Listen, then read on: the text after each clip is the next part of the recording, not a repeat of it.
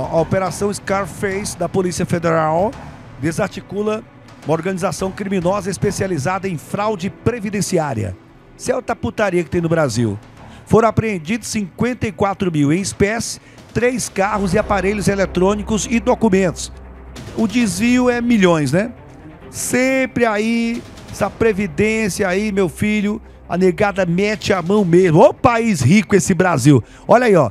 Prejuízo de 73 milhões, pai.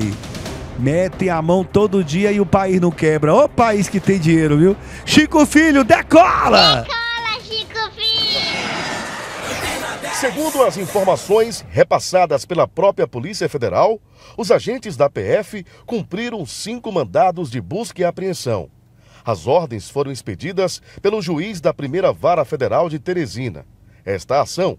Decorre de uma investigação que identificou várias provas encontradas ainda no ano de 2021 durante outra ação da Polícia Federal, que na época realizou a Operação Bússola, quando foi descoberta uma organização criminosa composta por um ex e mais quatro servidores do INSS os fraudadores concediam benefícios de aposentadoria por idade e salário maternidade rural usando documentos falsos. Os alvos da Polícia Federal foram identificados durante a investigação em cidades como a capital Teresina, em Piripiri, no interior do Piauí, e em Codó, que fica no interior do Maranhão.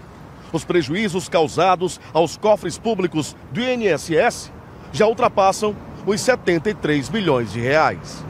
A Justiça Federal também determinou o bloqueio das contas dos investigados, a suspensão das atividades para os servidores públicos e também mandou revisar, de forma administrativa, 176 benefícios fraudados de forma imediata.